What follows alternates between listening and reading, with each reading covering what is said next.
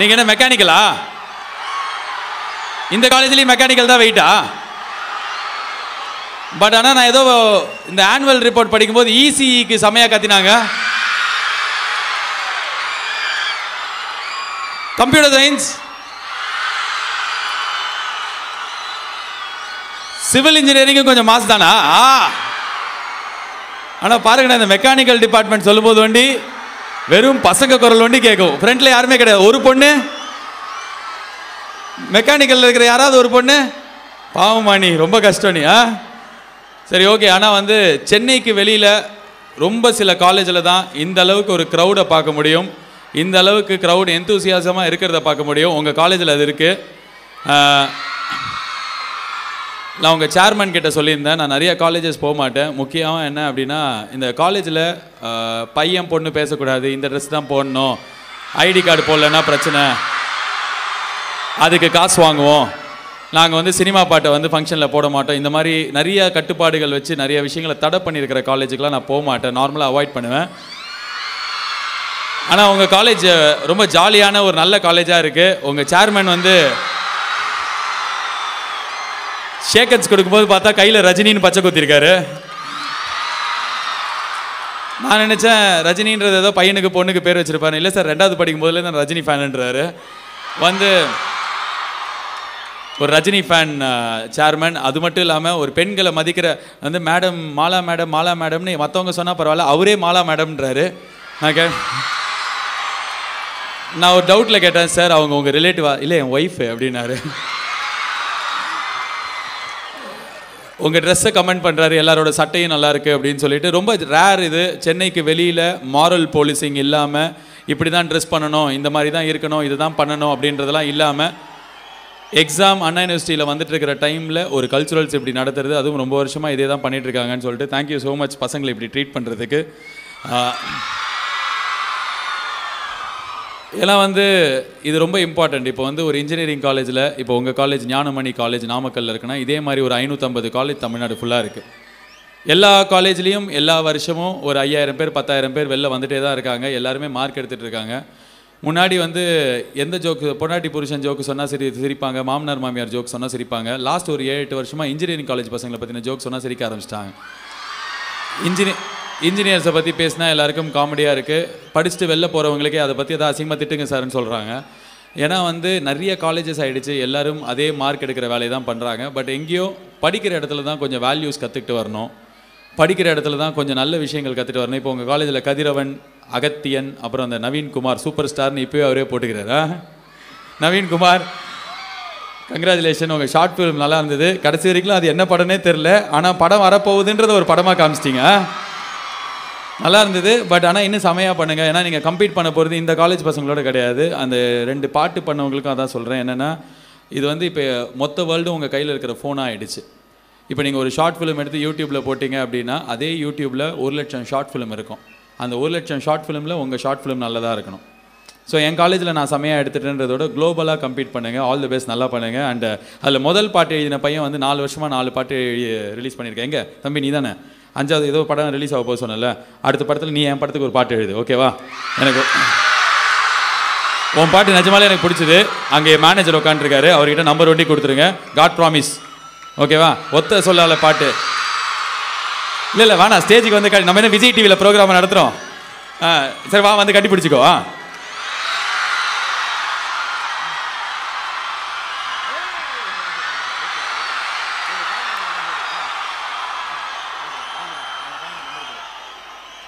இதுக்கு chairman madam தான் காரணம் சேர்மன் சார் தான் காரணம். ஒரு வாட்டி சொல்லிடு இல்லைன்னா சான்ஸ் கட் ஆயிடும். வா. என்ன பேசுறதுன்னு தெரியல. ரொம்ப சந்தோஷமா இருக்கு. சேர்பர்சன் மேம்க்கும் சேர்மன் சாருக்கும் ரொம்ப நன்றி. எனக்கு இந்த சான்ஸ் கொடுத்த ஆர்ஜே பாலாஜானாவுக்கு ரொம்ப நன்றி. என்னோடய லைஃப்பில் இதை மறக்க மாட்டேன். எனக்காக ஒரு வா ஒரு வாய்ப்பு கொடுத்துருக்காரு. கண்டிப்பாக நான் பெஸ்ட்டாக பண்ணுவேன். ரொம்ப நன்றி. ஓகேடா தம்பி. ஆனால் நான் நல்ல பயங்கர கஷ்டமாக வேலை வாங்குவேன். நல்லா இருந்தால் தான் ஓகே ஓகேவா சரி ஆல் தி பெஸ்ட் சேர்மனுக்கு நல்ல சொல்லிட்டு சேர்பர்சன் நன்றி. சார் இது வந்து ப்ராமிஸ் நீங்களே எனக்கு திருப்பி கால் பண்ணி கேட்கலாம். இப்போ அந்த கருப்பு சட்டை போட்டிருக்காரு பாரு அவர்கிட்ட நம்பர் கொடுப்பா. ஓகே ஆனால் ஃபஸ்ட்டு நவீன்குமார் நான் உங்களை பார்த்து உங்ககிட்ட இன்னொரு பாயிண்ட் இருக்குது நான் உங்களை வந்து ப்ரொஃபஸர் நினச்சிட்டேன்.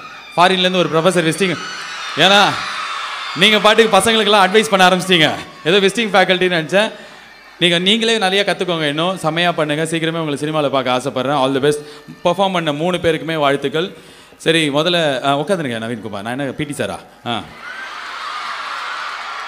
முதல்ல வந்து பர்சனலாக ஒரு விஷயம் உங்கள் எல்லாருக்குமே தேங்க்ஸ் சொல்லணும். என்ன அப்படின்னா எனக்கு படம் எடுக்க வரும்னு எனக்கே தெரியாது. பட் ஆனால் என்ன வரும்னே தெரியாமல் ஏதோ ஒரு அசட்டு தைரியத்தில் ஒரு படம் எடுத்தோம் எல்கேஜி. அந்த படத்தை நீங்கள் அவ்வளோ பெரிய வெற்றி படமாக மாற்றிருக்கீங்க ரொம்ப ரொம்ப நன்றி. சரி ஹெலிகாப்டர் தலையில் அடிக்க போகுது. கொஞ்சம் குடிஞ்சுக்கோங்க அங்கே ஹெலிகா ஆ, குடி ஆ. அதுக்கப்புறம் ஒவ்வொரு நாளைக்கும் சாயங்காலம் ஐபிஎல்லில் என்னோட கமெண்ட்ரிக்கு நீங்கள் கொடுக்குற ஆதரவுக்கு ரொம்ப நன்றி. அண்ட் இவ்வளோ ஆதரவுலாம் இருக்குன்னு எனக்கு தெரியாது. சும்மா ஜாலியாக கிரிக்கெட் தெருவில் விளையாடுவோம். அதனால் பேச போனேன் பட் ஆனால் போகிற இடத்துலலாம் வந்து ஏன் நேற்று வரல? அப்படின்ற மாதிரி அவங்க வீட்டு பால்காரனை கேட்குற மாதிரி கேட்குறாங்க ஸோ ரொம்ப சந்தோஷமாக இருக்குது நீங்கள் இவ்வளோ ஆதரவு கொடுக்கறதுக்கு. இந்த ஹெலிகாப்டர் மூஞ்சிக்கிட்டேன் ஆ நோத்துறீங்க சேர்மன் சாருக்கு சேர் பர்சன் கேட்டுங்க. ஆ மேமுக்கு ஆ okay see I was saying something எல்லா காலேஜ்லேயுமே வந்து நிறையா படிப்பு சொல்லித் தராங்க. Java J to the A to the V to the ஏ அவ்வளோதான் சி ப்ளஸ் ப்ளஸ் அதுக்கப்புறம் புதுசாக என்ன லாங்குவேஜ் வந்திருக்குன்னு தெரில max one max two max three எல்லாத்துலேயும் குத்தி விடுவாங்க. ரீவால்யூஷன் போட்டால் பாஸ் பண்ணி விடுவாங்க. கிட்டத்தட்ட தமிழ்நாடு ஃபுல்லாக இன்ஜினியரிங் காலேஜ் நிலைமை இதுதான். பட் ஆனால் படிக்கிற இடத்துல நிறைய விஷயங்கள் நீங்கள் கற்றுக்க வேண்டியது ரொம்ப இம்பார்ட்டன்ட் ஏன்னா இன்றைக்கி ரொம்ப ஸ்கேரியான ஒரு உலகத்தில் இருக்கும். நான் இந்த காலேஜ்லேயும் பார்க்குற ரொம்ப நல்ல காலேஜ் நிறைய வேல்யூஸ் இருக்குது நிறைய சந்தோஷமாக இருக்கிறத பார்க்க முடியுது. பட் ஸ்டில் எங்கேயோ வந்து பொண்ணுங்க முன்னாடி பசங்க பின்னாடி உட்காந்துருக்கீங்க இது வந்து வெளி உலகம் இப்படி இருக்காது. எல்லோரும் ஒன்றா தான் வேலை செய்யணும். ஒரே இடத்துல தான் இருக்கணும். இல்லை நான் இதில் வந்து எல்லாருக்குமே உங்கள் பசங்களுக்கே தான் சொல்கிறேன் பின்னாடி இருக்கிற பசங்களுக்கே தான் சொல்கிறேன் இந்த ஒரு நாலு வருஷம் ஒரு பொண்ணு கூட எப்படி நேர்மையாக நாணயமாக பழகணுன்றதை நீங்கள் கற்றுக்க வேண்டிய இடம். ஒரு பொண்ணோட ரிலேஷன்ஷிப் அப்படின்னாலே அது லவ் அப்படின்றது கிடையாது. அந்த பொண்ணு நம்மளோட தங்கச்சியாக லவ்வராக இருந்தால் தான் ஃப்ரெண்டாக இருந்தால் தான் நான் அந்த பொண்ணை மதிப்பேன். அப்படின்றது கிடையாது. அந்த பொண்ணு உங்கள் அம்மாவா தங்கச்சியா ஃப்ரெண்டா அக்காவா இல்லைனாலும் நீங்கள் அந்த பொண்ணை மதிக்கணுன்றதை காலேஜில் தான் கற்றுக்க முடியும். ஸோ நான் ஏன் இதை இங்கே சொல்கிறேன் அப்படின்னா இன்றைக்கி எல்லா இடத்துலையுமே ஒரு ஸ்கேரியான ஒரு ஒரு பயம் இருக்கிற ஒரு நிலைமை பெண்களுக்கு. இதனால உடனே பெண் அமைதியாக இருக்க சொல்லுங்கள் நைட்டு பன்னெண்டு மணிக்கு ஏன் அந்த பொண்ணு வெளில போகிறா அப்படின்னா ஏழு வயசு குழந்தையெல்லாம் வந்து ரேப் பண்ணியிருக்காங்க. ஸோ அந்த குழந்தை என்ன தப்பு பண்ணுச்சு? அந்த குழந்தை எப்படி தப்பான ட்ரெஸ் போட்டுச்சு? என்ன அப்படின்னா பசங்க நம்ம தான் நம்மளை ஒழுங்காக வளர்த்துக்கணும். நம்ம ஒழுங்காக இருந்துக்கணும்.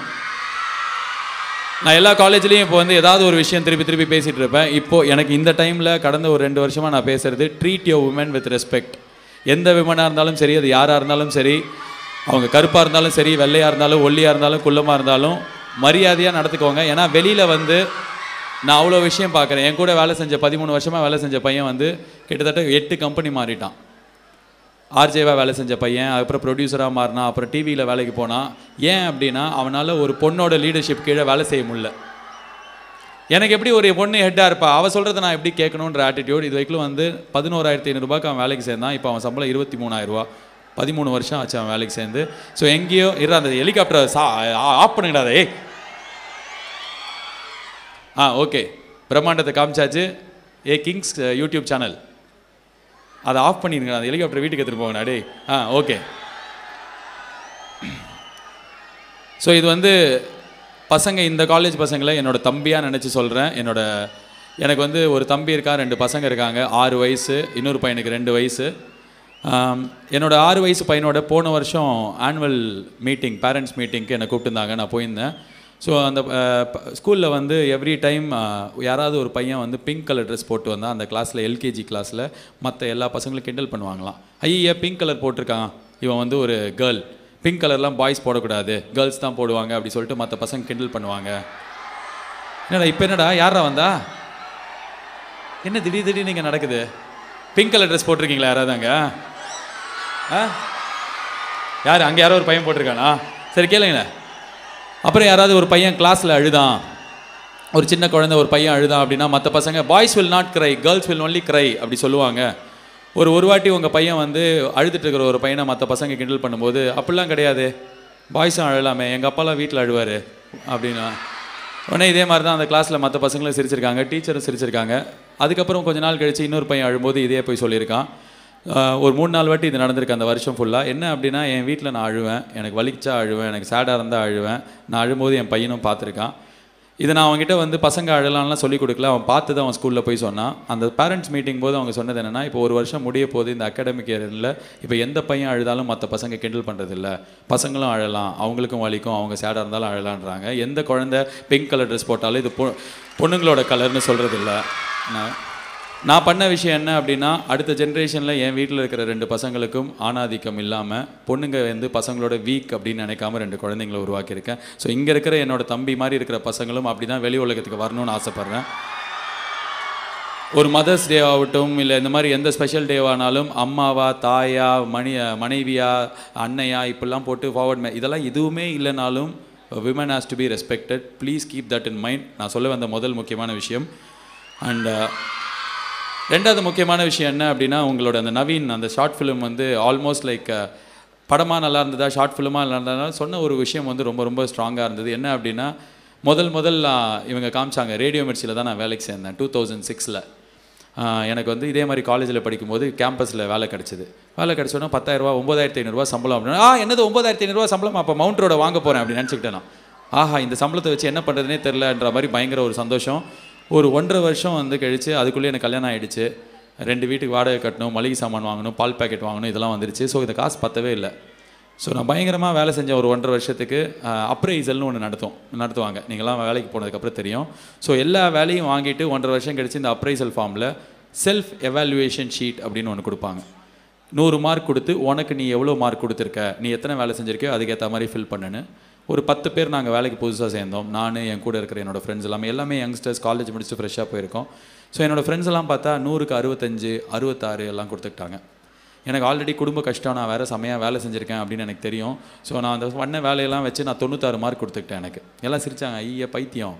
அங்கே போனால் திட்டுவாங்க உடனே பத்து தொண்ணூத்தாறுலாம் கூட அப்படியே அடிச்சிருவாங்க அப்படிலாம் சொன்னாங்க. ஸோ இந்த அப்ரைசல் வச்சு தான் சம்பளம் உயருமா? இல்லைனா வந்து ஆயிரரூபா உயருமா? இருபதாயிரரூபா உயருமாலாம் தெரியும். ஸோ ஒரு அந்த அப்ரைசல் மீட்டிங்கில் அறுபத்தஞ்சு மார்க் கொடுத்து அறுபது மார்க் கொடுத்து போன என் ஃப்ரெண்ட்ஸ் எல்லாருக்குமே என்ன சொல்லியிருக்காங்கன்னா ஓ மேலே நான் வச்ச நம்பிக்கையோட நீ வச்ச நம்பிக்கையோட நாங்கள் நிறையா நம்பி வச்சுக்க நம்பிக்கை வச்சுருக்கோம். ப்ளஸ் ஃபைவ் எழுபது மார்க் இருந்தால் போ. நீ எவ்வளோ போட்டிருக்க? அறுபதா? நான் உனக்கு அறுபத்தஞ்சு போடுறேன் போ அப்படின்னு அமைச்சிருக்காங்க எனக்கு போனேன் நான் 96 சிக்ஸ் மார்க் போட்டிருந்தேன். எனக்கு அவங்களும் அதே 96 சிக்ஸ் மார்க் போட்டு நீ நல்லா வேலை செஞ்சுருக்க போன்ட்டாங்க. ஒரு ஒரு மாதத்துக்கு அப்புறம் அவங்க எல்லாரோட சம்பளமும் ஆயிரரூபா ஐநூறுரூபா எண்ணூற்றம்பது ரூபாலாம் ஏறிச்சு. எனக்கு இருபத்தி ரெண்டாயிரத்தி ஐநூறுரூபா ஆச்சு. என்னோடய லைஃப்பில் என்னோடய முதல் லெசன் அது. யாருக்குமே அவங்க மேலே நம்பிக்கை இல்லை அப்படின்னா நம்ம நம்மளை நம்பலை அப்படின்னா அடுத்தவங்க நம்மளை நம்பவே மாட்டாங்க. அது வந்து நான் அன்றைக்கி கற்றுக்கிட்டேன் இப்போ எல்கேஜி படம் அப்படின்னு ஒரு படம் எடுக்கும்போதும் என் கூட இருக்கிற என் ஃப்ரெண்ட்ஸே சொன்னாங்க பாஸ் பத்து படத்தில் காமெடியாக நடிச்சுட்டு போங்க. சும்மா அவங்கள வச்சு யார் நாலு கோடி ரூபா போட்டு படம் எடுப்பாங்க அப்படின்னு ரெண்டு வருஷம் முன்னாடி. இல்லைடா யாராவது ப்ரொடியூசர் கிட்ட போய் ஏ நாலு கோடி ரூபாலாம் போயிடும் பாஸ். அதெல்லாம் வேணாம். நீங்கள் நடிச்சிட்டு போங்க. முப்பது படம் ரெண்டு வருஷத்தில் பண்ணிடலாம் அப்படின்னாங்க. இல்லை வேணாம். அந்த முப்பது படத்தில் வந்து மொக்கையாக நடிக்கிறதுக்கு நான் எனக்கு ஒரு நல்ல படம் எடுத்துப்பேன்னு நினச்சி என் மேலே இருக்கிற நம்பிக்கையில் நான் போனேன். இன்றைக்கி அஞ்சு கோடி ரூபாய் போட்டு எடுத்த படம். கிட்டத்தட்ட நாலு மடங்கு ப்ராஃபிட் அதை எடுத்தவங்களுக்கு கொடுத்துருக்கு. காரணம் என்ன அப்படின்னா மற்றவங்கள நம்ம நம் மற்றவங்க நம்மளை நம்பலாமல் இருக்கலாம். ஆனால் somewhere you have to believe yourself அந்த பிலீவ் யுவர் செல்ஃப் எல்லாமே வந்து வெளியிலேருந்து எனக்கு கற்றுக்கல நான் வந்து வேலைக்கு போனதுக்கப்புறம் கற்றுக்கல என் காலேஜில் நான் கற்றுக்கிட்டேன் என் காலேஜ் வந்து என்னோடய காலேஜுன்ற ஒரு கம்ஃபர்ட் கொடுக்கும். நான் படித்த இடம் அதுதான் உங்களுக்கும். நான் படிக்கும்போது அட்லீஸ்ட் ஒரு பதினஞ்சு வருஷம் முன்னாடி காலேஜில் இந்த மாதிரி ஒரு மேடை கிடச்சிதுன்னா ஒரு சான்ஸ் கிடைக்கும். அதில் சான்ஸை நம்மளோட திறமையை வெளிப்படுத்தலாம். ஆனால் இன்றைக்கி உங்கள் எல்லாருக்குமே உங்கள் கையில் இருக்கிற மொபைல் தான் உங்களோட மேடை. இந்த மொபைலில் போயிட்டு நான் நகை வெட்டினேன்னு ஃபேஸ்புக்கில் இன்ஸ்டாகிராமில் ஸ்டோரியும் போடலாம். அதே மொபைலை யூஸ் பண்ணி இந்த மாதிரி பாட்டு ஷார்ட் ஃபிலிமு கோலம் போடுறது. எனக்கு மசாஜ் நல்லா பண்ண தெரியும். எங்கள் தாத்தாக்கு டெய்லி நான் கால் பிடிச்சி விடுவேன் நீங்கள் போட்டால் கூட நீங்கள் வைரல் ஆவீங்க. ஸோ உங்களோட திறமையை வெளிப்படுத்துறதுக்கு இன்னொருத்தர் மேடை கொடுக்கணும் இன்னொருத்தர் கான்ஃபிடன்ஸ் கொடுக்கணும் அப்படின்னு சொல்லிட்டு don't ever wait for somebody else to give you an opportunity அது கரெக்ட் கிடையாது. உங்களோட திறமையை நீங்கள் தான் வெளிக்கொடுத்துட்டு வர முடியும். அதுக்கு தேவை ஒன் ஜிபி டேட்டா உங்கள் எல்லாருக்கும் ஜியோ ஃபோன் இருக்கும் ஏதோ ஃபோன் இருக்கும். அதில் இருக்கிற டேட்டாவை தயவுசெய்து அதுக்கு யூஸ் பண்ணுங்கள் அண்ட் ஃபைனலி காலேஜ் மேனேஜ்மெண்ட்டுக்கு ஒரு ரிக்வெஸ்ட் நான் நிறைய காலேஜில் போகிற இடத்துலலாம் இதை சொல்லுவேன். Uh, என்விரான்மெண்ட் சயின்ஸ்னு ஒரு சப்ஜெக்ட் இருக்குது அது எதுக்கு இருக்குன்னு அதுக்கே தெரியாது. ரொம்ப வருஷமாக நான் படிக்கும் போதுலேருந்தே இருக்குது அது எழுதும்போது சும்மா ஓபியில் ஒரு சப்ஜெக்ட் இதில் குத்தி விட்றக்கூடாதுன்றதுக்காக எழுதுவோம். ஸோ அந்த மாதிரி இருக்கிற சப்ஜெக்டை உங்கள் காலேஜில் ஒரு ப்ராக்டிக்கல் ஸ்டடியாக வைங்க. உங்கள் காலேஜ் பக்கத்துலேயே ஏரி குளம்லாம் இருக்கும். ஃபஸ்ட் இயர் சேர்ற பையனை நாலு வருஷத்தில் இதை தூர்வாரிட்டு வாங்க உங்கள் பேட்சில் உங்களுக்கு நாங்கள் இருபத்தஞ்சு மார்க் கொடுக்குறோம் அப்படின்னு சொல்லுங்கள் ஸோ ஒரு பையன் பேட்ச் விட்டு போ பாஸ் ஆகும்போது ஒரு குளத்துக்கு அந்த பேட்சோட பேரை வைக்கலாம். அதனால ஏதாவது யூஸும் இருக்கும். இல்லைனா அந்த என்விரான்மெண்ட் சயின்ஸ் பத்து பைசாக்கு பிரயோஜனம் இல்லை. கொஞ்சம் யோசிச்சு பாருங்கள் உங்களோட செல்வாக்கை யூஸ் பண்ணி ரெண்டு பிரேஸ்லெட்டை யூஸ் பண்ணி அண்ணா யூனிவர்சிட்டி கிட்ட அதை புஷ் பண்ணுங்கள் அண்ட் ஃபைனலி உங்களுக்கு இந்த டைமில் ஒரு முக்கியமான ஃபைனல் மெசேஜ் என்ன அப்படின்னா ஏப்ரல் பதினெட்டாம் தேதி எலெக்ஷன் வருது. இந்த மேடையே இப்போ வந்து அவர்களே அவர்களே அவர்களேன்னு பேசும்போது எனக்கு அதான் ஞாபகம் வந்தது. முன்னாடிலாம் வந்து காமெடியாக ஏதாவது வேணும் அப்படின்னா ஆதித்யா டிவி சிரிப்பொலிலாம் பார்ப்போம். இப்போலாம் வந்து தந்தி டிவி சன் நியூஸ்லாம் பார்க்க ஆரம்பிச்சிட்டோம். ஏன்னா எல்லா காமெடியும் நம்மளுக்கு மேடையில் இவங்க பேசுகிறதுலேருந்து தான் கிடைக்குது. அன்ஃபார்ச்சுனேட்லி என்ன அப்படின்னா இது சிரிக்கிற விஷயம் கிடையாது. ஒரு நியூஸ் சேனல் வந்து இன்றைக்கி உட்காந்து விஜயகாந்த் இப்படி பேசினாரு ஸ்டாலின் அப்படி பேசினாரு எடப்பாடி பழனிசாமி இந்த காமெடி பண்ணார் அவர் அந்த காமெடி பண்ணாரு அப்படின்றத தாண்டி இவங்கெல்லாம் என்ன திட்டம் வச்சுருக்காங்கன்னு உங்களை மாதிரி பசங்க கிட்ட சொல்லணும். அதை யாரும் சொல்ல தவறுறதுனால நீங்களே ஒரு அஞ்சு நிமிஷம் ரிசர்ச் பண்ணி உங்கள் ஓட்டை போடுங்க. வெறும் ஒரு பட்டன் அமைக்கிட்டு வரதோட அந்த ஃபோட்டோவை எடுத்து ஃபேஸ்புக்கில் போடுறதோட முடிஞ்சிடாது. இப்படி தான் இல்லைன்னா சங்கூதினா மாதிரி நம்மளுக்கு ஒரு நிலமை வரும். டேய் ராஜா முடிச்சிட்டேன்டா. லாஸ்ட் ஒன் மினிட்ரா எனக்கும் தெரியும் நிறைய பேர் பேசினா கடுப்பாகுன்னு ஏ மெக்கானிக்கல் யார் குட் பாய்ஸ்னு ஒரு சவுப்பு சட்டை. சிட் ஆ இருடா. ஸோ கடைசியாக தான் ஒரு ஓ ஒரு ஓட்டு போடணும் அப்படின்னா பட்டன் அமுக்கிறது மட்டும் நம்மளோட வேலை கிடையாது.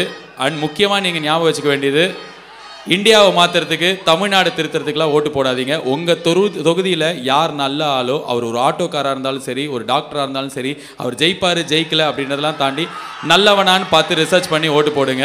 பெரிய கட்சி போடுவேன் தெரிஞ்ச சின்னத்துக்கு போடுவேன் ஜெயிக்கிறதுக்கு போடுவேன்றதை மூட்டை கட்டி வச்சுட்டு your first time voters vote responsibly vote wise and ஃபேஸ்புக்கில் ஃபோட்டோ போடுறதை தாண்டி இதை தயவு செஞ்சு உங்களுக்காக நீங்கள் பண்ணுங்கள் for a better future all the best have a great evening thank you so much for this lovely opportunity thank